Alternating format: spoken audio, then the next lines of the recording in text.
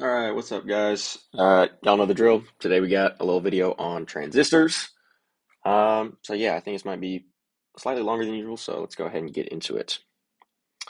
All right, so up until this point in the class, we've been talking a lot about ones and zeros, uh, various binary representations, things like that, but we've all kind of been doing it on pencil and paper. We need a way to actually represent these ones and zeros and manipulate them inside a computing system. And so the first little piece that's going to help us do that is the wire. And wire is going to be the physical medium used to carry our signals, so our ones and zeros. And in CircuitSim, as you can see over here on the right, a one-bit wire has three distinct states it can be in. First one up here at the top is dark green, and this mean the this means the wire is carrying a low voltage signal of zero. Uh, similarly, right here, light green means it's carrying a high voltage signal of 1. Now, there's a special third state, which is a lot of times represented with a Z, called the high impedance state, and it's going to be represented with the blue in CircuitSim. And this means that no signal is being driven to the wire, okay? So there's nothing on it. No signal is being used on it. So I want to make this point really clear because sometimes I'll see this confusion where people think that, oh, the wire's dark green, it's got a zero on it. That means, you know, it's not being used. And that's not the case. Uh, a zero is just as valid and carries just as much information uh, as a one. Okay, so a zero is a signal. Do not get that confused. Okay, blue is where there's no signal being driven to the wire. Zero and one, they both have signals. Okay, uh, and I'll also put a link with the uh, documentation for CircuitSim on WireColor in the description. There's a little more information on uh, like multi-bit wires. Uh, but right now, these is just the uh, the basic three for one bit wires that is important to know. All right, so now that we've got wires sort of under our belt, let's talk about transistors. So we can think of transistors as switches that, when closed, allow a signal to propagate through them. Uh, so up here, top right, is a little diagram I got off the internet, which apparently is what they look like. Uh, I don't really understand that. If you have a friend in uh, material science or maybe ECE, maybe they know and they could explain it to you, but I don't know. Pretty much all I uh, care about is the CircuitSim representation. And so with our transistors, we have two main types. The first one is the P-type transistor. And the P-type transistor connects to power. So that's a good little like mental note I like to make, or mental connection is P goes to power. All right. And the power is this thing up here that is going to be the generator of the one signals in our computer, and ones being the trues. Okay, so the power up here, and the p type can only connect to power. And what we know about a p type transistor is that when its gate input is a zero, so when the line being fed into its gate input right here is a zero, this switch will close. And we know that when closed, the signal can propagate. So we can combine kind of these first two, 1.1 and 1.2, into our 1.3 statement, where we say that when an input of zero hits a p-type transistor, so right here is its gate input, it will propagate this strong one that's being sent from the power. Okay, so right now we know that there's no signal being sent to its gate input, so this one is being sent down, because this switch is still open, since it didn't have a zero as its gate input, this output, also called the drain, is floating, okay? So no signal is being sent through this transistor right now, okay? So on the other, uh, other hand, we also have the N-type transistors, and these N-type transistors connect to the ground, which is represented by this, this triangle right here. And as you can see, it's sending out that zero signal, okay? And the N-type transistors close when its gate input, so when the thing that connects right here, is a 1. So we can thus say that when an input of 1 hits an N-type transistor, it will propagate the strong zero signal. Okay, this is very important. If you need to just kind of memorize what transistor does what, uh, I think that would be very helpful. All right, so next thing that we have is talking about logic gates with transistors. And you might be wondering, perhaps, like, why do we care? Why would I ever need to and two pieces of data together? Uh, what's that going to do for me? Well, we can think of each thing that we build as like a building block. And once we are able to do logic gates like ANDs, we can start making things like adders. Uh, we can start making things like multiplexers, which will help us pick uh, a given output from a number of inputs. Uh, and these are all going to be used to make uh, a data path and will help us on our way to making a fully functional computer, which is pretty interesting uh, if you think about it, in my opinion at least. All right, so here comes the part that I think a lot of people get confused on, which is actually deriving a logic gate. Uh, like, how do you make the transistor diagram for a given logic gate? And in my mind, I like to think of it as this sort of two parts uh, process. The first one is I like to imagine what the gate is and then think about what the gate inputs must be for that gate to be true. Okay. And then once I have that, I got that expression in my mind. I like to see if I can make that happen by connecting the power, which is, remember, our, our generator of, of ones, which represents true, uh, to some setup of p-type transistors. And remember, p-type because it connects to power.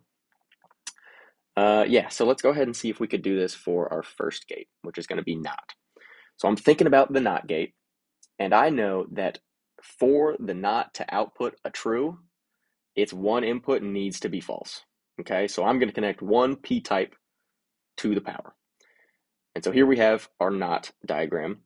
If we want to sort of trace it, we have our input here, which is zero. It's going to propagate all along this wire. This is a p-type transistor, which means when this input of zero hits it, it's going to close, which allows the one to go all the way down and to our output. And note that this one signal is going to carry along this wire all the way down to here.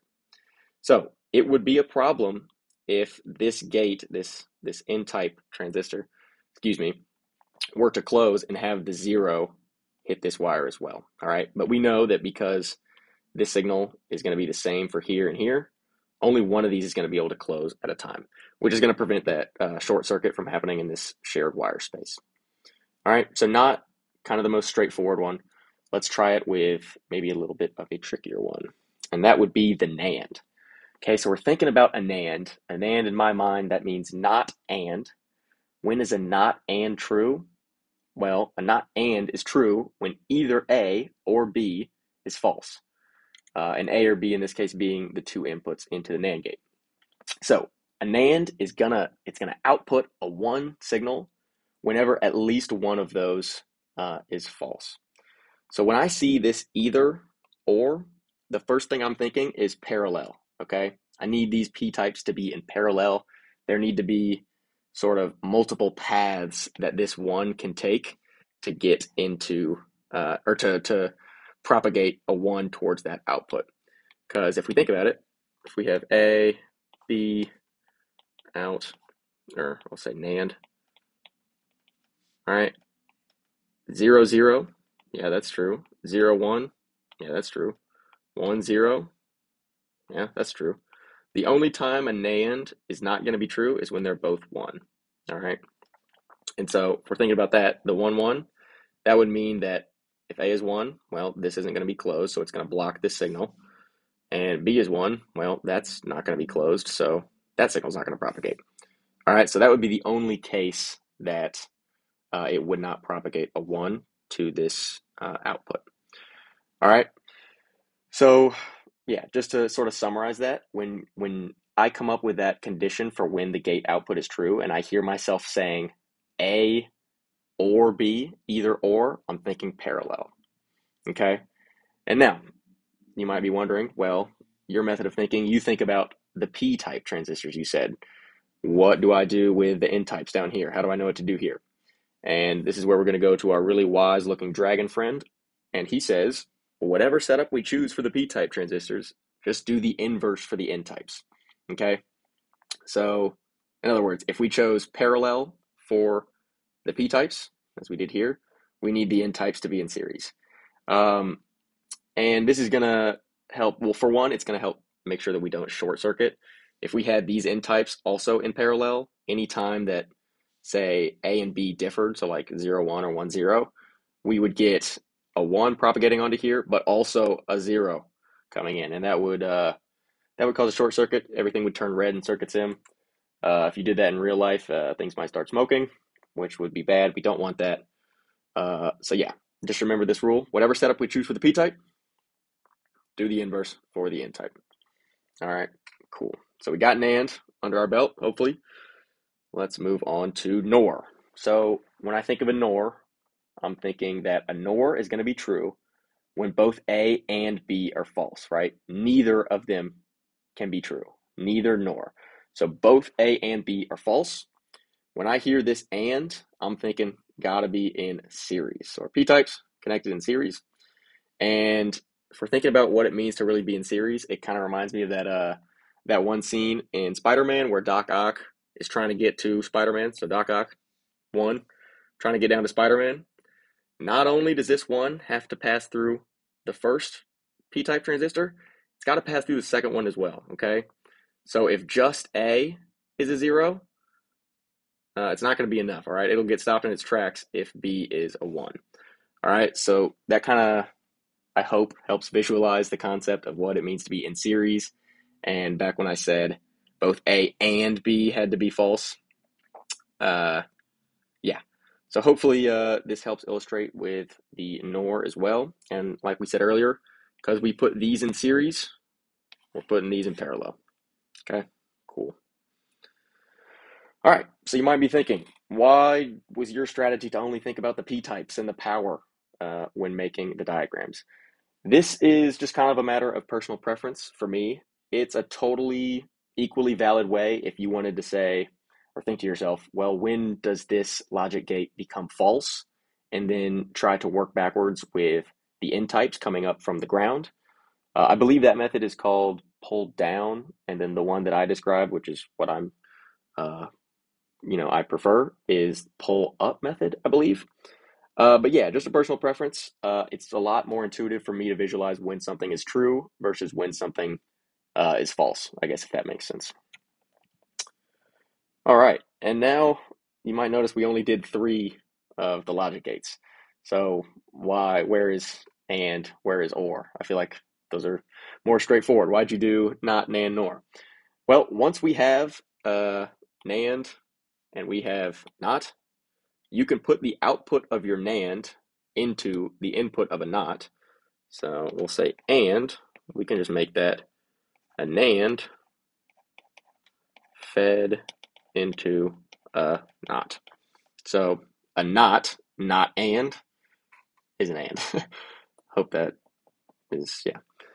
And then same concept with an or. Is a NOR fed into a NOT. All right, so I hope that kind of method of thinking about it is clear.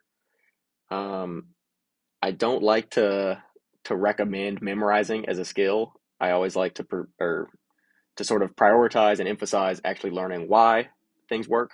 But say it's Sunday night, you got a quiz tomorrow. What I just described with the thinking about, you know, when the gate output is true, it's just not clicking for you. And you want to be able to recognize transistor diagrams or be able to draw transistor diagrams. Uh, you know, this is a chart that you can memorize if need be. Again, I don't like to use memorization as a crutch. I would say stress uh, actually learning it. But uh, yeah, if you want to pause, take a look at this. Not almost hard to mess up. Just remember that P type goes on power, P power, and N goes to ground.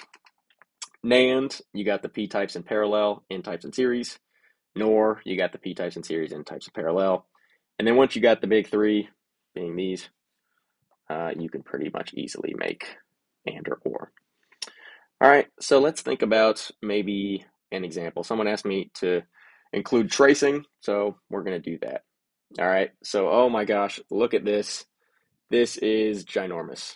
You might be a little overwhelmed looking at that. And say you were given something like this and you were tasked with finding the output for a given input or maybe even to fill in an entire truth table for this expression, uh, what would you do? What steps could we take? So I'll say you can brute force trace this. You can say, I'll look at uh, signal A and I'll look at signal B and I'll see when does this close and where does the signal go and trace it all the way. But if you have a lot of that, it's going to be really, really inconvenient and kind of tedious to do it. So what I like to do is when I look at this, I like to break it up, break it up into sections that I can recognize. Okay, so in this case, I'm looking at maybe this first part, and I see, okay, we got A and B. They're going into P-type transistors in parallel. That looks like a NAND to me. And then it's connected to a not, okay? So I'm thinking I'll use pink for this. This section is A and B. All right. And I know that that's being used as one input. All right. The output of that is using as one input into this second part. So before we do this sort of last part, let's look at what this is. And in this case, I'll use a different color so it's clearer. How about red? Well, I see it's three inputs, which doesn't change my way of thinking, but um, yeah, because I'm just looking for the pattern of what the transistors are in. In this case, I see that the p-type transistors right here are all in series. So I'm thinking this is a NOR. So this is something, we don't know what the operator is yet, because we will do that when we get to the far right uh, logic gate. But I know this is A, NOR, B, NOR, C. Okay, and that's the second input. And this last part, well, kind of looks like what we had up there at the top left, where we have our p-type in parallel. So I'm thinking this is a NAND. All right. So once we got that, you see how we've looked at this really confusing big transistor diagram, broken it up into manageable pieces, and each manageable, manageable piece goes into a Boolean expression. From this Boolean expression, you could use a bunch of different ways to uh, to simplify it down, but you'll end up getting something that looks like this in uh, circuit sim. So yeah, we had A and B going into a NAND alongside with a NOR of the all three inputs. All right. And uh, I kind of just made this one really quickly. I think it turns out that this circuit always outputs one. So not a very useful one, but for the point of tracing it, I think it's fine. All right. So I hope that this cleared some confusion up. Uh, if it didn't, feel free to comment. Uh, as always, Piazza, office hours, great resources. All right.